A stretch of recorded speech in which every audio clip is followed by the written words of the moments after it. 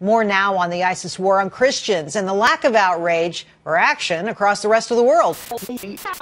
Radical Islamic terrorism. Let's talk about it. We have no choice. This is a real problem. It's always so frustrating watching the news and seeing so many headlines portraying Muslims in a negative light. I can only imagine the fear my fellow Americans could have, considering that 62% of them have never met a Muslim before.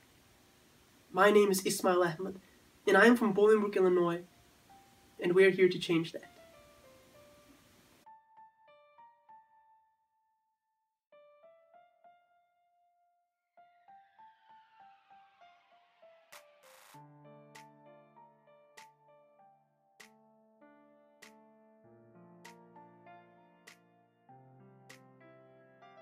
Assalamu alaikum. My name is Safwan Akbar and I am from Central Jersey. My name is Najma Saqib and I'm from Dallas, Texas. My name is Ibrahim Ijaz and I'm from Detroit, Michigan. My name is Abdulmuiz Kamal Mui. I am from Columbus, Ohio. My name is Mudassar Bahri and I am from Atlanta. My name is Hamad Khan. I am from Leesburg, Virginia.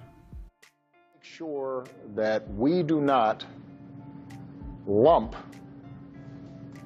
these murders into the billion Muslims that exist around the world, including in this country, who are peaceful, who are responsible, uh, who in this country are our fellow troops and police officers and firefighters and teachers and neighbors and friends.